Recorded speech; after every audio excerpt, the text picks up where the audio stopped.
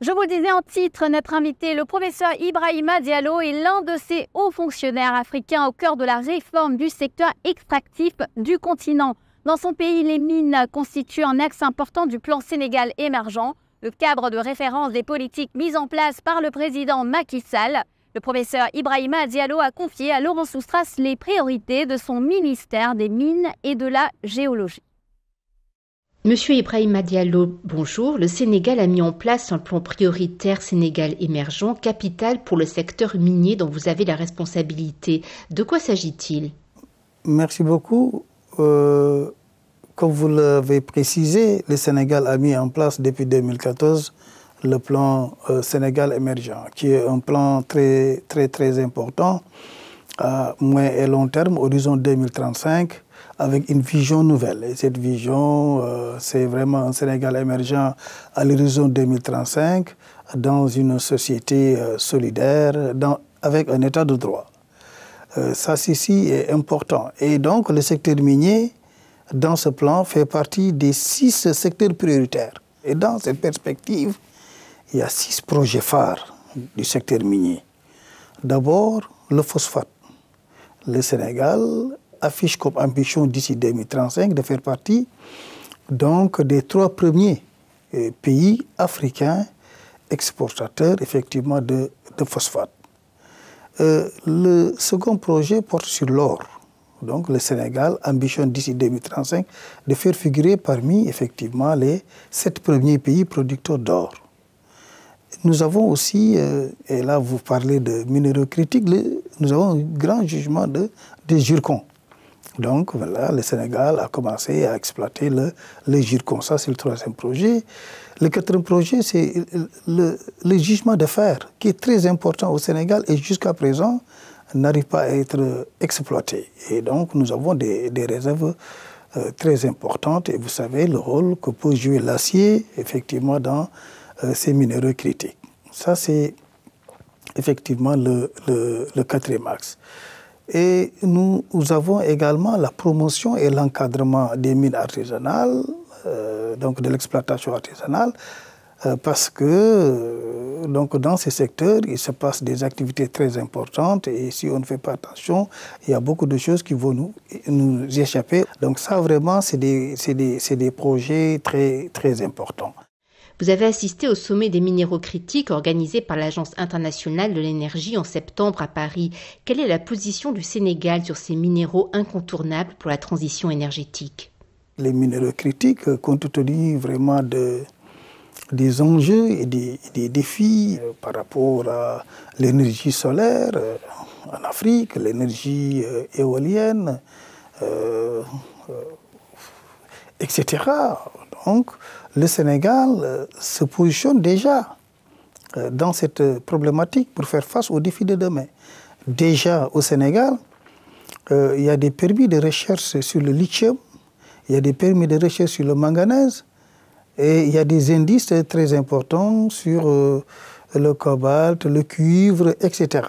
D'ailleurs, aujourd'hui, nous avons accordé au Sénégal deux petites mines Hein, des petites mines. Donc, les petites mines, ça ne dépense pas 500 hectares, mais déjà de lithium et de manganèse. Donc, euh, en plus du grand jugement euh, de, de Gircon. Donc, le Sénégal, vraiment, est entré effectivement dans la gestion effectivement de ces, de ces minéraux critiques. Mais cette économie qui doit être partagée avec des retombées à prochaine de valeur hein, pour le Sénégal. Et ce message de mutualité et de partage vous semble-t-il avancer au sein de l'économie globale? Aujourd'hui, c'est clair, le Sénégal ne peut pas se marginaliser quand on parle de minéraux critiques. On parle de, l'enjeu, l'énergie solaire. On sait qu'au Sénégal, voilà, avec les problèmes d'énergie que nous avons, on parle de l'énergie éolienne, on parle effectivement de l'automobile, on parle même euh, des stratégies de défense et de sécurité dans un contexte euh, de terrorisme, etc. Et tout. Donc le Sénégal, vraiment ne peut pas se marginaliser par rapport à, à la problématique qui est évoquée effectivement aujourd'hui. Et euh, il est apparu aujourd'hui, si nous, si nous devons faire face à ces défis de demain, nous devons avoir euh, une approche de dialogue politique et de gagnant-gagnant pour qu'effectivement qu'on puisse faire face à ces défis de demain parce que c'est clair, si on veut décarboniser, il va falloir effectivement rechercher les minéraux critiques. Presque plus de 50% de ces ressources, euh, de, ces, de ces minéraux critiques sont dans le continent africain. Et donc, on ne peut pas euh, aborder ces questions sans la présence de l'Afrique. Et vraiment, c'est un plaisir pour nous, le Sénégal, vraiment de, prendre les choses en main en participant, mais dans euh, une perspective pas très éloignée. Il va falloir effectivement se impliquer davantage les pays africains pour qu'il y ait un dialogue très large, multipartite, sincère, avec une approche responsable pour que l'Afrique puisse participer et l'Afrique puisse gagner également de ces, de, ces recherches et de ces perspectives qui sont dégagées. C'est un gros enjeu au vu des critiques en Afrique au sujet des contrats miniers négociés dans le passé. Est-ce que ce débat sur un meilleur équilibre des profits en faveur de l'Afrique est déjà à l'ordre du jour en ce qui concerne ces nouveaux minerais? Ce débat, on doit l'aborder et si on ne l'aborde pas, c'est l'investissement qui sera remis en cause avec les soulèvements, les contestations des populations locales. C'est pourquoi euh, il est vraiment dans l'intérêt de l'investisseur, des populations locales et de l'État, vraiment de euh, bien poser les termes du contrat, de bien expliquer pour qu'il y ait effectivement euh, vraiment un gagnant-gagnant. Voilà, si on veut qu'effectivement l'exploitation minière soit, soit durable, et puisse bénéficier effectivement à tout le monde, je veux dire l'investisseur, l'État, mais aussi les populations locales. Monsieur Ibrahima Diallo, parlons maintenant du secteur artisanal de l'or. Est-ce que la solution qui a été testée par le Sénégal de grouper ces artisans miniers en coopérative ou un groupement d'intérêts économiques, est-ce une solution qui a de l'avenir?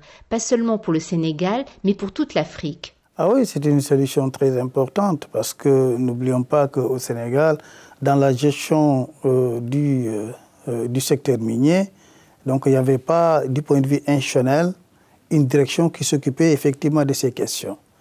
Mais depuis deux ans, trois ans, donc le gouvernement du Sénégal a mis en place une stratégie nouvelle du point de vue institutionnel en mettant en place une direction pour la première fois spécifique qui s'occupe effectivement de l'encadrement et de la promotion de l'exploitation artisanale, compte tenu des enjeux.